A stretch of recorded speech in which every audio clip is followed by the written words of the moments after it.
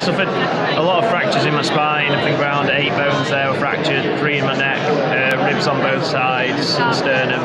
So it was a lot, a lot of fractured bones.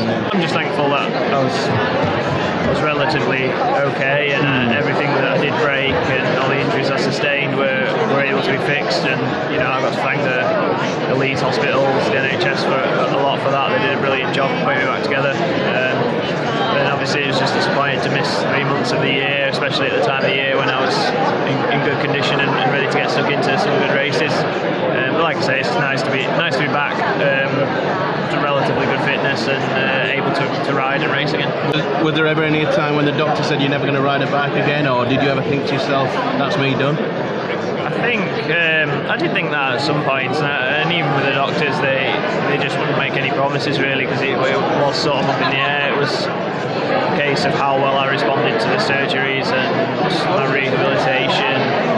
Um, I think I was always fairly confident, and the, the, surgeons were fairly confident that I'd be able to get back on a bike in some form. But whether I'd be able to return to competitive racing at the same level was, was another question. Just a great buzz to be back in, in, in the races. That's what I love doing, and yeah, it was always the challenge. Really, I sort of say it as a big goal to get back to racing, and I wasn't too bothered about how the racing went and, and where I finished. It was just nice, racing. I think originally we, we were looking at maybe October just to get a few races before the end of the season, but then as the rehab went on, I, got, you know better and better, and um, we moved that date forward. And in the end, it was sort of um, end of June, July. I was always, already like ready to race, and yeah, just wanting the all clear really from the doctors. In terms of coming back to racing, it was all just a bonus really. The main thing that I, I recovered from the injuries, and I was able to you know just be a normal person.